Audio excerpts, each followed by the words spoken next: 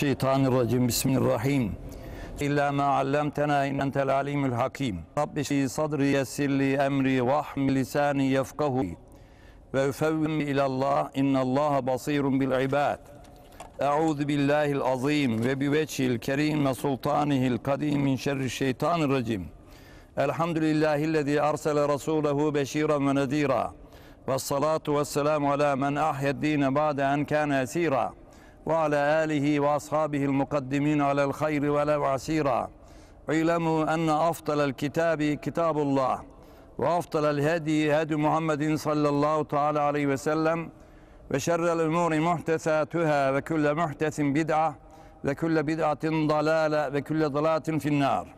وبالسند المتصل النبي صلى الله عليه وسلم أنه قال آتي باب الجنة يوم القيامة فاستفتح feyekulul hazin men ente? Feyekulu bike ümirtu la eftaha li ahadin qablek. Sadaka Resulullah sallallahu aleyhi ve sellem.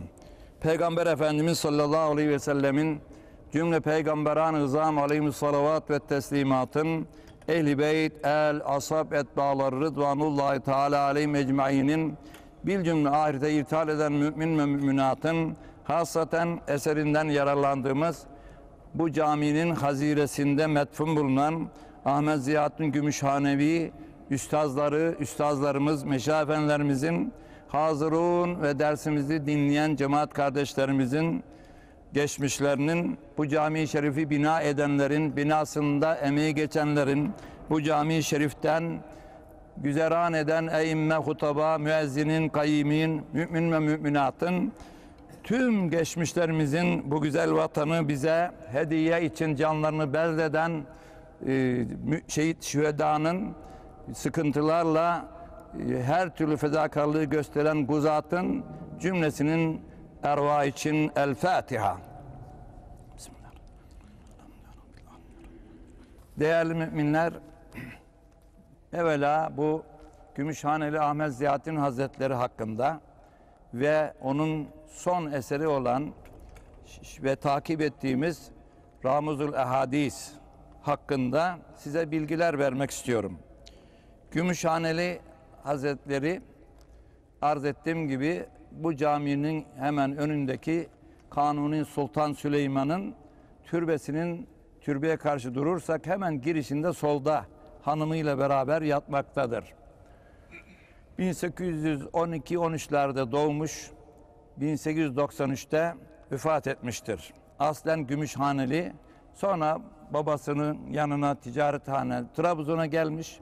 Oradan da ilim aşkıyla İstanbul'a gelmiş ve babasından özür dilemiş. Ben tüccar olmayacağım. Senden para da istemiyorum. Benim burada kalıp ilim tahsil etmeme müsaade et demiş. O da yavrusunun ilim aşkına engel olmamış. Diğer kardeşleriyle dükkanını idare etmiş ve Gümüşhaneli Hazretleri Mahmut Paşa'daki Mahmut Paşa Camisi'nin etrafındaki medreselerden bir odaya sular akan, akan soğuk bir odaya yerleşmiş. Para kesesi örerekten para çıkını eskiden gümüş paralar tedavülde onlar vardı. Onun keselerini örerek geçimini sağlayacak parayı kazanmış. Babasından para istememiş. Çok zeki, kabiliyetli olduğu için dört buçuk yaşında güzel Kur'an okumasını öğrenmiş ve 8 yaşında hafız olmuş ve küçük yaşta 12 yaşına gelmeden birçok e, hususlarda icazet almış. E, İstanbul'a gelince de hocaların önüne diz çökmüş ve kısa zamanda zekasıyla sivrilmiş birçok hocadan ders almış. E, bu hocaları arasında onlara rahmet vesilesi olsun diye bir iki cümleyle şunları söyleyebiliriz. Mesela e, Şehri Hafız Muhammed Emin Efendi, Abdurrahman Harbuti Efendi, e, Abdülfettah Ukari Efendi, e, sonra daha sonra e, Ahmet bin Süleyman Ervadi. Bu en önde gelen hocaları. Tabii birçok hoca oku, hocadan okumuş da bunlar en meşhur İslam tarihinde, bilim aleminde en çok adı edilen üstazlardandır. Kısa zamanda terakki etmiş ve e, ta Şam'dan gelen Şam'dan gelen Ahmet bin Süleyman Ervadi'nin de buyur meydan senindir dedikten sonra İstanbul'da şimdiki e, İstanbul vilayetinin valiliğinin olduğu yerde medrese açmış.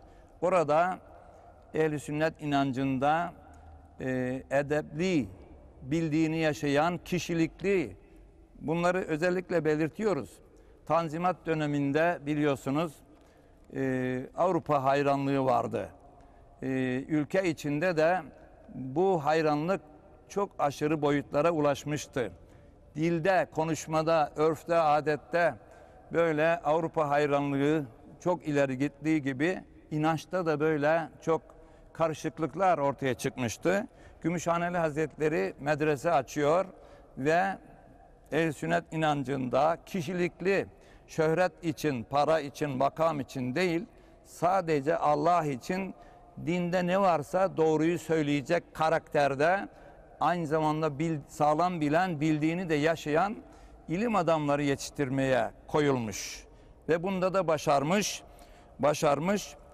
Ee, etkisi, etkisi Kuzey Afrika'ya, Mısır'a, Bağdat'a, tabi Anadolu'nun her tarafına yayılmıştır. Oralarda e, onun yazdığı kitaplar okutulmuştur. Yetiştirdiği talebeler oralara kadar uzanmıştır. Benim araştırmama göre Anadolu'da da hemen hemen her camide onun bizim takip ettiğimiz Ramuzul Ehadis kitabı halka okunmuştur. Bu Ramuzul Ehadis kitabı e, 1865'te yazılmış. 58'de yazılmış. O zaman basılmış. 1858 yani 140 küsür senelik bir eser. Halkın, Müslümanların, Müslümanların, halkımızın pratik hayatta nelere dikkat etmeleri gerektiğini Peygamberimiz sallallahu aleyhi ve sellemin hadisleriyle göstermek istemiştir. Yazdığı Ramuzul Ehadis, Hadisler Deryası kitabını e, kendisi bizzat Levamil Ukul adıyla şerh etmiştir.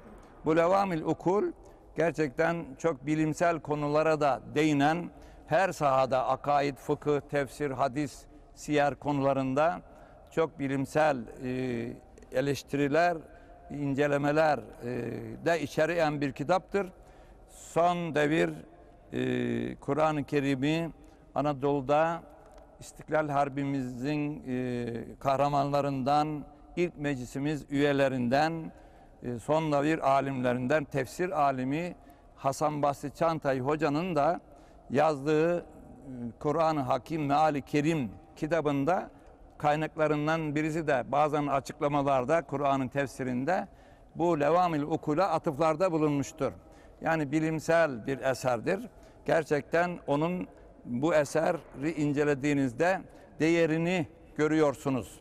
Bu e, Gümüşhaneli hakkında doktora tezi de yapılmıştır. Şimdi milletvekili olan bir kardeşimiz doktora tezi hazırlamış. Bunu etraflıca e, Gümüşhaneli Ahmet Ziyahattin diye e, incelemiş ve doktor olmuştur.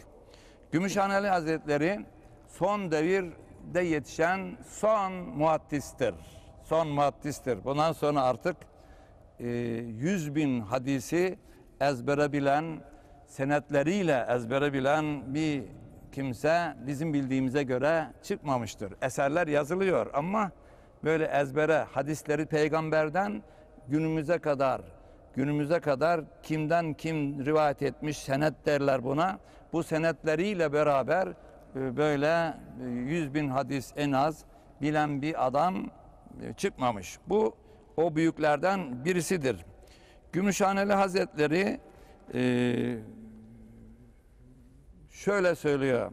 Yani karakterini anlatma bakımından arz edeceğim. Ashabıma davayı mükafat etmem. Arkadaşlarımdan, beni dinleyenlerden, beni sevenlerden bana mükafat verin diye bir talepte bulunmam. Evet. Düşmanlarıma kast mücazat etmem. Bana ne yapsalar aleyhime çalışanlara da ceza vermek istemem. Aklımdan bu geçmez. Evet, her karımı mabuduma tefviz ettim. Her işimi Allah'a havale ettim. Evet, bestir bana hak, gayra münaca, münacat etmem. Ana Allah yeter, başkasına gidip de başvurmam, kapısını çalmam, ondan bir şey istemem diyor. Böylece gerçekten ne kadar muhlis, ihlaslı, sırf rızayı bari için yaşayan, çalışan, eser veren bir adam olduğunu gösteriyor. gösteriyor. Bu son noktadır. Son noktadır. Biliyorsunuz şimdi de okuyacağız inşallah e, sıra gelince. İbrahim Aleyhisselam da ateşe atıldığı zaman, atılacağı zaman mancının ucundayken Cebrail Aleyhisselam gelmiş. Ne istiyorsun demiş. Hiçbir isteğim yok. Bana Allah kafidir. Hasbiyallahu ve nimel vekil. Bu son noktadır. Bu noktayı en kritik anda söyleyebilmek imanın kemale ermesiyle Allah'ın lütfuyla olabilir. Gümüşhaneli Hazretleri de bu beytinde aynı şeyi dile getiriyor. Bu Ramuzul Ahadis, Ramuzul Ahadis kitabını 1858'de telif etmiş. Ee, 7101 hadisten dikkatinizi çekiyorum. Tek rakamlar 7, 1, 1. Neden? Her şeyi hadise uydurma endişesinden, düşüncesinden ileri geliyor. İnna Allah vitrun yuhibbul vitr. Allah tektir, teki sever. Her işini hadise uydurmaya çalışıyor. E, bu hadislerin 7101 hadisin e, son bölümünde Peygamberimiz sallallahu aleyhi ve sellemin e, şeyine ayrılmıştır. Bir kısmını e, şemailine, özel hayatına, şekline, şemailine, huyuna, ahlakına, yaşayışına ayırmıştır. Ramuz böyle bir kitaptır. Ee, sonra da bunu şerh etmiştir. Gümüşhaneli Ahmet Ziyaddin Hazretleri 66 yaşına kadar ilimle uğraşmış, didinmiş, çırpınmış, eserler vermiş. 66 yaşında evlenmiş, 67 yaşında 93 harbine katılmış, müşir Derviş Paşa'ya varmış. Demiş ki talebelerimle beraber en ön sırada harp etmek istiyorum, müsaade istiyorum. Derviş Paşa demiş ki olur mu hocam siz 67 yaşında aksakallı bir hoca olur mu demiş efendim siz benim yanımda karargahta kalın. Hayır demiş biz ön sırada çarpışacağız. Hakikaten o ön sıraya gidince paşa da ön sıraya gitmiş. Tabii paşayla böyle güzel bir hoca askerin önünde savaşırsa o asker ne olur? Atom bombası olur, hidrojen bombası olur.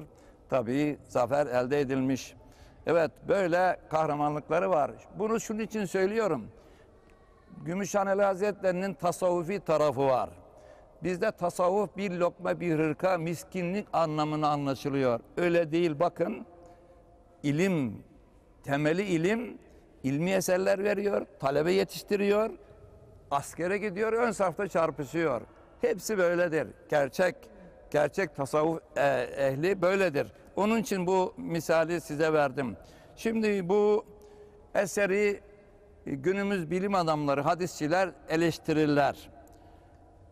Hadis adamının, hadis bilim adamının görevi eleştirmektir. Doğruyu bulmak için Allah onlardan razı olsun. Böylece yanlışla doğru birbirinden ayrılır. Onların niyeti de Peygamberimiz sallallahu aleyhi ve sellem hadisleri arasına uydurma hadisler katılmasın gayretiyle bu eleştiri yapıyorlar. Bu eleştiri okları bu kitaba da uzatılır. Günümüzde de bu kitap hakkında e, bizim hakkımızda eleştiriler yazılmıştır. Gümüşhaneli Hazretleri diyor ki ben 125'ten fazla hadis kitabı kaynağından bu hadisi derledim. Seçtiğim hadislerin doğruluğuna inandım. Doğru sahih hadislerdir diye kanaat getirdikten sonra bir de diyor ön sözü var. Ön sözünde öyle söylüyor. Bir de istihare yapıp Allah'ıma danıştım. Bu hadisi kitabıma alayım mı almayayım mı diye müsbet netice aldıklarımı eserime yazdım diyor. Ee, ihlasla yazıldığı için ve halkın pratik hayatında dini ihtiyaçlarına cevap verecek hadisleri ele aldığı için çok tutulmuş. Arz ettiğim gibi Anadolu'da hemen hemen her camide bu hadisin, bu kitabın okunduğunu ben tespit ettim, e, gördüm. Şimdi bu hadis kitabı e, dan önce bir ön söz kısmı var. Orada hadis ilmi hakkında, usulü hadis derler buna, raviler hakkında, hadislerin kısımları hakkında bilgi veriyor. Ee, İslam ulemasının, Müslümanların icat ettiği bir ilim dalıdır usulü hadis, usulü fıkıh, usulü tefsir. Avrupalılar böyle bir ilim bilmezler. Peygamberimiz sallallahu aleyhi ve sellem tebliğ ettiği Kur'an'da hadis-i şerif peygamberimizin fiili davranışlarının sözlerinin günümüze haber olarak aktarılması hadisler takrirlerinin haber olarak aktarılması hadisler de İslam'ın kaynağı haram helal hükümlerinin verilmesi için kaynağı olduğu Kur'an'da işaret var emrediliyor. Kur'an ana kitaptır. Temel prensipleri içerir. Bunu günümüz hukukuyla da karşılaştırabiliriz. Türkiye Cumhuriyeti'nin bir anayasası vardır. Şu kadar maddeden ibarettir. Öz, kısa, genel prensipleri içerir. Bu anayasada Türkiye Cumhuriyeti'nin bütün işleyişini ilgilendiren prensipler vardır. Fakat bunun buna göre ceza kanunu çıkarılır. Meden- Medeni kanun çıkarılır. Ticaret kanunu çıkarılır vesaire. Borçlar kanunu çıkarılır. Çıkarılmıştır. Yani anayasalar öz bilgiler verirler. Genel prensipler içerirler. Bunları halkın anlayıp memurların anlayabilmesi için açıklayıcı kanunlar çıkar. O anayasanın prensibine uygun kanunlar yetmez. O kanunları açıklayacak tüzükler çıkar. Onlar da yetmez. Halkın anlayacağı, en son uçtaki memurun anlayacağı yönetmelikler çıkar. Bugün modern ilim sistematiği de budur. Hukukta, İslam'da da aynı şey vardır. Kur'an ana kitaptır din konusunda temel prensipleri içerir. Bu Kur'an'ın açılması gereken yerlerini peygamberimiz öyle, e, öyle emrediyor Allah. Litübeyyine linnâsi insanları açıklayasın diye seni gönderdik diyor. Kur'an'da ayet var. Ve bize de onu yaparsa yapın diye emir var Kur'an'da. Ee, peygamberimiz fiiliyle bizzat davranışlarıyla, sözleriyle, takrirleriyle açıklamıştır. Peygamberimiz sallallahu aleyhi ve sellem Efendimiz de fanidir. Gelip geçen bir insandır. Peygamberdir ama fanidir. Nitekim vefat etmiştir. Pe- Kur'an'da pey- e, peygamberin sünnetinde açıklanmayan kısımlar gene kalabilir. Çünkü insanlar devamlı terakki etmektedir. Her devirde bilgileri, yetişme tarzları değişmektedir. Onların ihtiyacına cevap vermek için iştihat yolu vardır İslam'da da. Bu müştehitlerin hepsinin birleştiği karara icma denir. Bugün Türkiye Cumhuriyeti'nde de yukarıdaki yargıtay dairelerin hepsi birleşirler. Genel kurulda iştihadı birleştirme kararı alırlar. Bu kesindir, kanun gibidir. Aynen İslam'da da böyledir. Peygamberimiz irtihalinden sonra sahabe-i kiram yeni durumlar ortaya çıkınca Kur'an'da buna şu ayet işaret ediyor. Peygamberin şu sünneti bunu bunu açıklıyor. Açık hüküm şöyle olmalıdır diye kararı bastırıyor bir tanesi. Sahabenin her biri e, bugüne yetkilidir. Öteki sahabeler de çok güzel, doğru söyledin, isabet ettin dediler mi buna icma deniyor. Sahabe devri geçmiş, daha sonra müştehit dediğimiz Kur'an ve sünnetten ana iki kaynaktan e, şey hüküm çıkarabilecek kapasitede sırf Allah'ın iradesini tespit nedir bu ayetten maksadı Allah'ın bunu çıkarmak özü bu. Bunun için çalışan didinen çok büyük ihlaslı alimler gelmiştir. Bunları da müştehit denir. Bu da Kur'an işaretiyle İslam'ın kaynağıdır. Bunlar da münferit iştihatlarda bulunurlar. Mesela şimdi e, televizyonlarda birçok insan aynı konuda çeşitli fikirler söylüyor. Profesörler. Hiç bu yadırganmaz. Hukukun canlılığını sağlayan şeydir bu. Hiç moral bozulmamalıdır.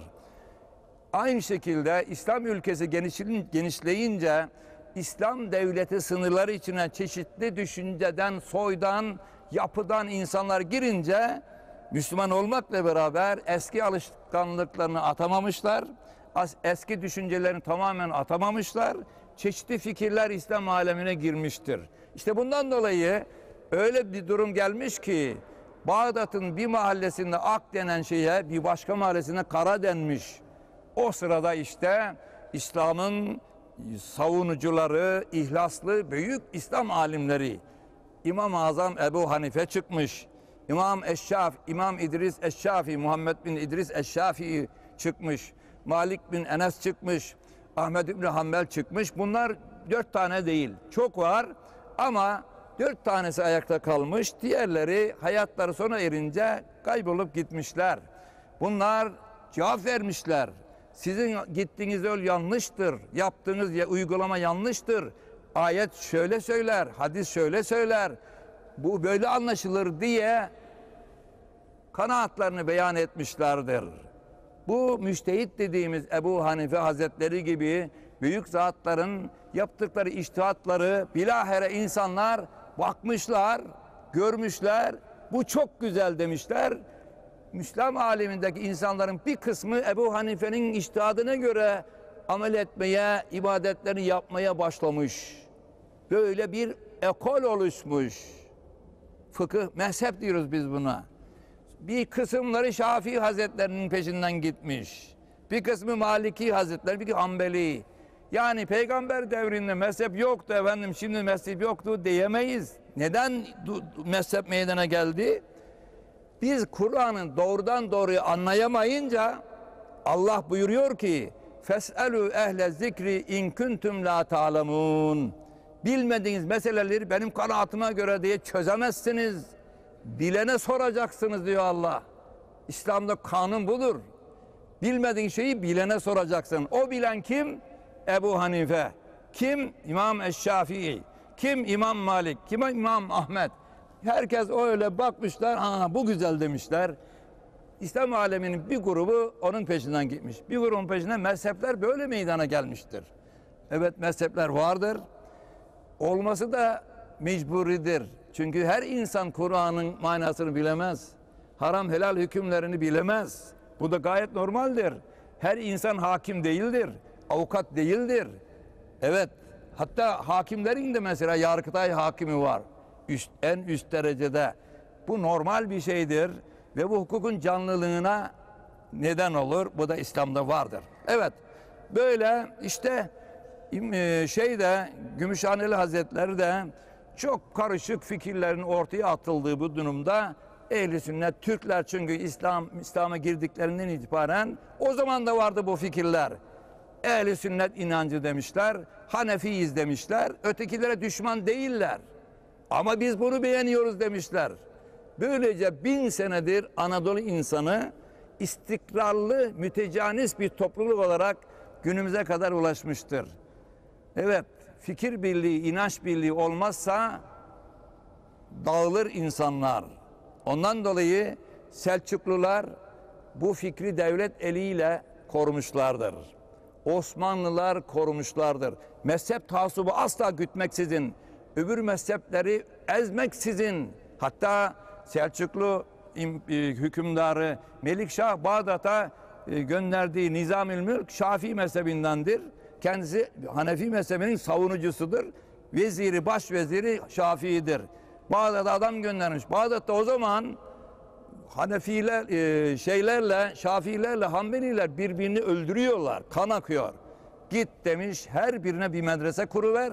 Benim paramla, devletin parasıyla kavga yok demiş. Herkes fikrini yaysın. Biz Türkler böyleyiz. Toleranslı bir milletiz. Her şey ilim bazında hallolacak. Ta bu siyasetle günümüze kadar gelmişiz. Cumhuriyet hükümeti zamanında da arz ettiğim gibi e, mesela Kur'an-ı Kerim'in tefsir edilmesi istenmiş. Devlet başkanı, hükümet üyeleri karar vermişler ve resmen Elmalı Hamdi Yazır Hoca'ya hak dini Kur'an dili tefsirini yaptırmışlar. O da aynı aynı düşüncededir. Ta tarihten gelen özelliktedir.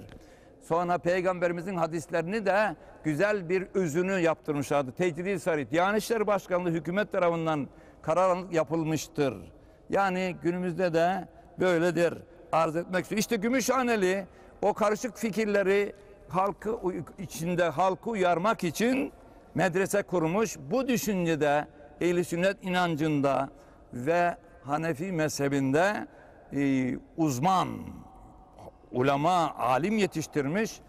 İslam aleminin her tarafına göndermiştir, göndermiştir. Evet bu eser e, bu maksatlarla yazılmıştır. E, halkımıza bedava dağıtılmıştır. Gümüşhaneli Hazretleri'nin evlendiği hanım Fatma Hanım e, bir paşa kızıdır. Babasından servet kalmıştır. Gümüşhaneli'nin meteliği yoktur. Gümüşhaneli Hazretleri'nin bu hanımı servetini bu eserin yayımlanmasına harcamıştır. Hiç para alınmadan dağıtılmıştır. Hocalara, camilere, halka dağıtılmıştır. Evet, Gümüşhaneli Hazretleri şimdi Süleymaniye Camisi'nin önündeki Kanuni Türbesi'nin girişinde yatmaktadır. Allah ondan tüm geçmişimizden razı olsun. Allah onların aziz ruhlarına rahmet eylesin. Şimdi ilk hadis harf sırasına göre usulü böyle elif, b, t, s, cim, ha yani Arapçadaki alfabe harf sırasına göre hadisleri seçiyor. Elif'ten başlıyor. Eti babel cenne yevmel kıyame. Kıyamet gününde cennetin kapısına gelirim. Festeftihu kapıyı çalarım. Sesle değil, eliyle tak tak vururuz. Kapı vurmak Kur'an'ın emridir. Başkasının eve gireceğiniz zaman la tedhulu buyuten gayre buyutikum hatta testenisu ve tusellimu ala ehliha. Başkasının evine mesken masuniyeti vardır, dokunulmazlığı vardır. İslam'da kanun bu. Bugün kanun da öyle. Başkasının evine haber vermeden giremezsiniz. Cennette peygamberimizin şimdiye kadar yeri yurdu değil. Dünya hayatını yaşamış. Evet. Dünyada yaşamış. Cennete girerken kapıyı çalıyor. Festeftihu. Kapıyı çalarım. Feyekulul hazinu.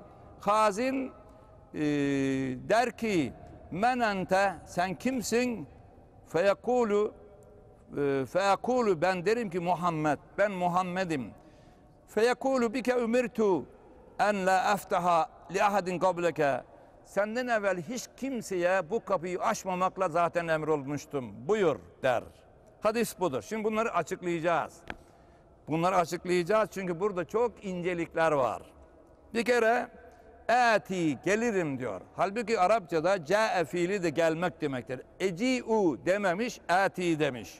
Şu halde Peygamberimizin cennete götürülüşü özel. Özel. Çünkü kainat onun hürmetine yaratılmış. Allah'ın Habibi, Cumhurbaşkanının bir yere gitmesiyle senin gitmen bir oluyor mu? Onun için ayrı e, programlar yapılıyor. Peygamberimiz kainatın efendisi. Onun hürmetine yaratılmış. Demek ki cennete götürülüşü bile özel bir merasimle. Fatıma anamız da özel bir merasimle gidecek cennete. Peygamberimiz haber veriyor. Güzel insanlar, peygambere çok yakın olan güzel insanlar böyle özel merasimle cennete götürecekler. Allah bizi onların katarından ayırmasın inşallah. Eti kelimesi bunu ifade ediyor. Ona saygı ifade eden bir götürüşle. O götürüldüm, geldim ifadesini taş, taşıyor bu. Evet şimdi e, kap, cennetin kapısına geldim. Kıyamet günü bu mahşerde yani kainat yıkılacak. Bizim inancımız böyledir. Amentü'nün bir maddesidir. Kur'an-ı Kerim'e göre böyledir. İsrafil aleyhisselam sur üfleyecek. Sura üfleyecek. Kainat yıkılacak. Ne zaman yıkılacağını Allah bilir. Kimse bilmez. Kim şu gün yıkılacak derse yalan söyler. Gaybı Allah bilir. Allah bildirirse bilir. Peygamber de söylememiş. Ondan sonra bir sur daha üfleyecek. Her ölen dirilecek. Mahşerde toplanacak. Mahkeme-i Kübra kurulacak. Mutlak hakim Allah bütün insanları Adem'den, Adem Aleyhisselam'dan kıyamet kopana kadar gelip geçen bütün insanları yargılayacak. Mahkeme Kübra. Burada haklar adalet yerini bulmamışsa, haklar alınmamışsa, zulümler ortaya çıkmamışsa hiç endişe etmeyin. Kılı kırk yaran bir mutlak hakim Allah, her şeyi görüp bilen Allah, her şeyin zabıt tutulduğu defterler, delillerle her haksızda, haksızdan haklı olan hakkını alacak. Zulümler ödeştirilecek. Öyle bir gün gelecek. Bizim inancımız böyledir. İşte bundan sonra bu yargı, muhakeme, yargılamadan sonra cennete gidilecek. İlk giden demek ki Peygamberimiz sallallahu aleyhi ve sellem olacak. Efendimiz olacak. Şimdi ben diyor oraya giderim. Burada incelikler şu. Cennet şeffaf. Dışarıdan içerisi görülüyor. Cehennem de öyle. Mahşer halkı cenneti de görüyor, cehennemi de görüyor. Tabii herkes durumunu biliyor. Kendi durumunu biliyor. Cehennemlik olanlar cehennemi görünce üzüntüleri artacak. Cennetlik olanlar cenneti görünce bir an evvel hesap görülse de şuraya bir girsem diyecekler. Görüyorlar. Peygamberimiz gidince şeffaf olmasına rağmen kapıyı vuruyor. İçerideki görevli melekler hazin, onların baş, e, başı Rıdvan. O hazin görev, cennet görevli meleklerine hazin denir. Cehennemin görevli meleklerine zebani denir. Kur'an-ı Kerim'de var bunlar. O cennetin görevli meleklerinin başı Rıdvan gelir, başkasına gelmez. Sadece peygamberimiz için geliyor oraya. Özel muamele dedik ya, özel olarak gelir, bildiği halde peygamberimizi men ente der. Sen kimsin? Niçin böyle söyler? Peygamberimiz konuşsun da şeref yap olayım diye. Konuşma şerefine ereyim diye. Görüyor halbuki şeffaf dedik ya. Bildiği halde sen kimsin diyor. Konuşayım diye. Onunla konuşma şerefine ereyim diye. Ondan sonra peygamberimizin şu sözü de çok anlamlıdır. Fekulu Muhammed. Peygamberimizde ben Muhammed'im demez. Ben kelimesi yok. Muhammed der sadece. Peygamberimiz sallallahu aleyhi ve sellem edep haya timsalidir. Enaniyet benlik kör şeytanlıktır. Anadolu insanı böyle söyler. Benlik kör şeytanlıktır. O çünkü Adem Aleyhisselam'a secde et dedi Allah. Etmeyeceğim dedi. Ben ondan üstünüm. Ben ondan üstünüm dedi. Etmedi. Şeytan oldu. Allah'a karşı koydu. Kafirlerin başı oldu. Benlik davası gütmek şeytanın işidir. Peygamberimiz bak konuşurken inci döküyor. Ben demiyor. Orada ondan keşke. Gerçi öyle deyince hemen olmaz da o kelimeyi kullanmak bile istemiyor. Bize diyor ki ben ben demeyin. Söyleneni dinleyin. Çünkü ben diyen adam başkasının sözünü dinlemez. Gerçekleri kaçırır. İstişare müminin şeysidir, niteliğidir, özelliğidir. Ve emruhum şura beynehum. Başkaları soracaksın. Başkaları sana bir şey söyleyin. Ben senden üstünüm. Çekil oradan demeyecek. Dinleyecek. Ve fevka kullu zi ilmin alim. Her bilenin üstünde daha iyi bilen biri vardır. Ayet bu. İnsan insandan el elden üstündür. Dinleyecek ben demek bunlara engel olur. Gerçeği görmeye engel olur. Dinle bakalım. İşine gelmezse yine kabul etme. Ama bir kere dinle. Bir kere dinle. Peygamberimiz bununla onu ifade ediyor. Ben demeyin. Bu bilinçte, bu havada olmayın. Onu bize mesaj veriyor. Muhammed'im diyor. O zaman diyor ki işte feyekulu bike umirtu en la eftaha li ahadin qableke senden evvel zaten hiç kimseye açmamak üzere emrolunmuştum der ve ondan sonra peygamberimiz içeriye girer. İçeriye girdikten sonra e, peygamberimiz sallallahu aleyhi ve sellem arkasından e, Müslümanlardan ilk cennete girecek olan bizim ümmetimiz, ümmet Muhammed. Peygamberimiz baş kumandan önü çekti. Arkasından ümmeti onun şerefiyle bizim de ümmetimizin şerefi var. İlk hak bizim son gelmiş olmamıza rağmen üç grup hesapsız gidecek cennete. Üç grup. Evet bunlar da peygamberimizin ümmetinden. Diyorlar ki nereden biliyorsun ya Resulallah? Abdest azalarından biliyorum. Abdest alınan azalar, su değen azalar pırıl pırıl nurlanacak. Hurram minel hurram muhaccelin bu demek. Hadislerde geçiyor. Müminlerin nuru olacak. Onun için abdesti güzel almak lazım. abdest azaları nurlansın diye daha çok yıkamak lazım. Dirsekler falan kuru kalmaması lazım. Evet efendim. Bu hadis-i şerif böyle. Şimdi cennet hakkında da size e, bilgi verelim. E, Cennet de cin kelimesinden gelen bir kelime. Cin de örtmek demek. Evet, Gümüşhaneli Hazretleri öyle diyor. Ağaçlar, sular, muazzam, akla hayale gelmedik güzellikler var. Gölgelik olduğu için, ağaçlarla örtüldüğü için cennet bahçeleri böyle cennet denmiş. Cennet Kur'an-ı Kerim'e göre, diğer hadis-i şeriflere göre evet öyle e, güzel. Ma la aynun ra'at ve la uzunun semi'at ve la hatara ala kalbi beşer. Hiçbir göz görmedi o güzelliği. Hiçbir kulak duymadı öyle güzel güzelliği. Hiçbir insanın hatır hayaline gelmedi cennetin güzelliği diyor Peygamberimiz. Müminler oraya girecekler inşallah ve Allah'ı ayın 14'ü gibi görecekler diyor. Peygamberimiz böyle haber veriyor. Biz de inanıyoruz. Nasıl göreceğim diye söylerseniz oraya git de peygambere sor derim. Evet ben de öyle söylerim. İnşallah oraya git peygambere sor nasıl göreceğiz işte diyecek tarif edecek. Şimdi bak diyecek o da. Yani bunu neye söylüyorum? Allah şekle sığmaz, mekana sığmaz, zamana sığmaz. Nasıl olacak? Oraya gidince göreceksin. Oraya gidince göreceksin. Evet çünkü bunu da şundan söylüyorum. Ee, Kullu ma hatara bi balike gayru zalik. İmam-ı Azam'ın sözü bu. Aklına Allah şeklinden ne geldiyse Allah o değil. Evet o değil. Allah o değil. Yani şimdi koca kavuklu, sarıklı, ne bileyim elinde kocaman bir asa, şöyle göbeğine kadar sakallı asla asla Allah o değil. Hani bazı yayınlarda, şeylerde, televizyonlarda görürsünüz. Dünyanın çeşitli yerleri artık evinize geliyor.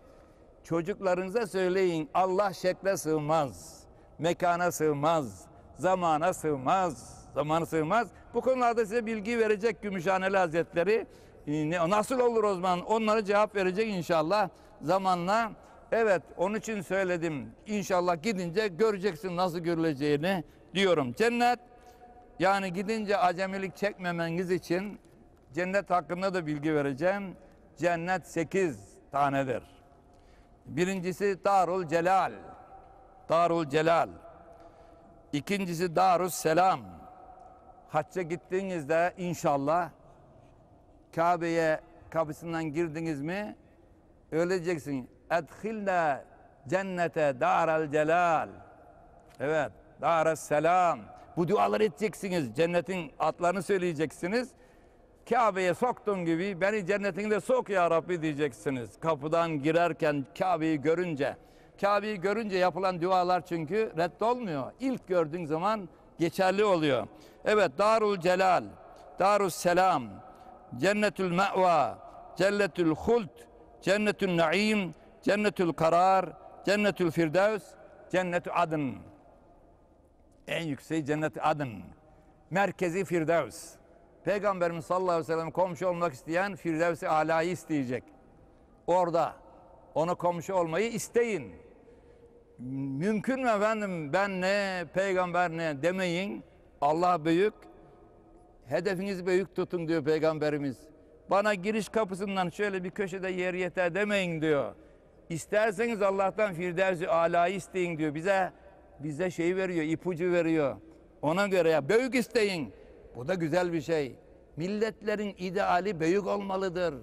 Büyük ideallerle yaşamalıdır. Ona göre kendini yetiştirmelidir. Evet, ucuz şeylerle avunmamalıdır. Her şeyde bir hikmet var. Evet, bu cennetin de sekiz kapısı var. Tabii, sekiz cennet, sekiz kapısı var. Eğer peygamberlerin, şehitlerin e, kapısından girmek istiyorsan e, sahih olacaksın. Bir Allah için, vatan için Çanakkale'de olduğu gibi, İstiklal Harbi'nde olduğu gibi, işte e, Malazgirt'te olduğu gibi ne çok yani Allah için, vatan için, namus için en aziz şeyi olan, makbul şeyi olan canını seve seve akıtan şehit babalarımız gibi, dedelerimiz, atalarımız gibi peygamberlerle aynı kapıdan cennete gireceksen sen de Gerektiğinde buyur dedikleri zaman hiç tereddüt etmeksizin cihada koşacaksın. Böyle olacaksın. Bu ruhla yaşayacaksın. Bu ruhla öleceksin. Bu ruhla ölmezsen diyor Peygamberimiz cahiliye putperest Arapların dönemindeki ölenler gibi olursun. Yani vatanın, namusun, dinin, imanın korumak için her an askerliğe hazırım diye bu ruhu her an yaşatacaksın. Miskin, uyuz, böyle aman bana dokma, dokunmayan ne, ne, ne, neme gerek canım kıymeti, malım kıymeti demeyeceksin. Müslüman böyle olur. Atalarımız bu imtihanı şerefle verdiler. Sen de onlara layık bir insan isen, onu ispat etmek istiyorsan askerliğe çağırdılar mı çürük raporu almayacaksın. Evet. Efendim böbreğimde şu var, kalp yetmezliği var. Bunlar Müslümana yakışmaz. Yakışmaz. Koşacaksın. Benim namusumu Cevat Hoca'nın Süleymani'de konuşmasını bekleyeceğim diyeceksin. Mehmet beklemese ben konuşabilir miyim? Sen rahat yürüyebilir misin? Namusunu kim koruyor? Sen de onlardan biri olmak için can atacaksın. Bu ruhla yaşayacaksın. Gerektiğinde herkes dedim herkes. Yaş 7'den 70'e. Evet bu bu peygamberlerin kapısından girmek için böyle. İkincisi sahih olacaksın. Sahavet sahibi olanlar da birinci kapıdan üstünde la ilahe illallah Muhammedur Resulullah yazıyor. O kapıdan peygamberler, şehitler, sahiler girer. Sahi, cömert. Hadi bir şu okul yaptıralım, hastane yaptıralım, yol yaptıralım, çeşme indirelim bir köyümüze dedin mi? Ya ben işte kız gelin edeceğim, oğlan ne vereceğim falan. Hemen diyecek, alın kardeşim. Ona bir çaresinde bakarız deyip koşu koşa amme hizmetine koşacaksın. Sahavet budur.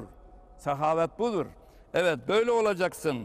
Evet eee, bu sekiz cennet kapısı eee Cehennem yedi tane, kapısı da yedi tane tabii. Cehennem de Allah ümmet Muhammed'i ondan korusun. Evet, cehennem leza, cehennem leza, kutame, sair, sakar, cahim, haviye. Kur'an-ı Kerim'de çıkardım bunları. Bu atlarla anılıyor. Dikkatinizi çekmiştir herhalde. Cennet sekiz, cehennem yedi. Allah'ın rahmeti gazabından üstün. Öyle diyor zaten Kur'an-ı Kerim'de. Sabakat rahmeti ala gadabi. Evet Allah'ım benim rahmetim, şefkatim gazabımdan üstündür. Üstündür buyuruyor. Biz de öyle bir arhamur rahimin olan Allah'a inanıyoruz. Ee, elimizden geldiği kadar dürüst olacağız, gayret edeceğiz. İnsandır, beşerdir, şaşardır. Tam mükemmel insan nasıl olacağız? Olmaya çalışacağız ama olamadığımız zaman da Cenab-ı Hak Erhamur Rahimin deyip umutsuzluğa kapılmayacağız. Yolumuza devam edeceğiz. Evet, yolumuza devam edeceğiz. Cenab-ı Hak cümlemizi e, cümlemizin imanını kamil eylesin. Ahlakımızı güzel eylesin. Ömrümüzü uzun eylesin. Rızkımızı helalından bol eylesin. Akıbetimizde hayır eylesin.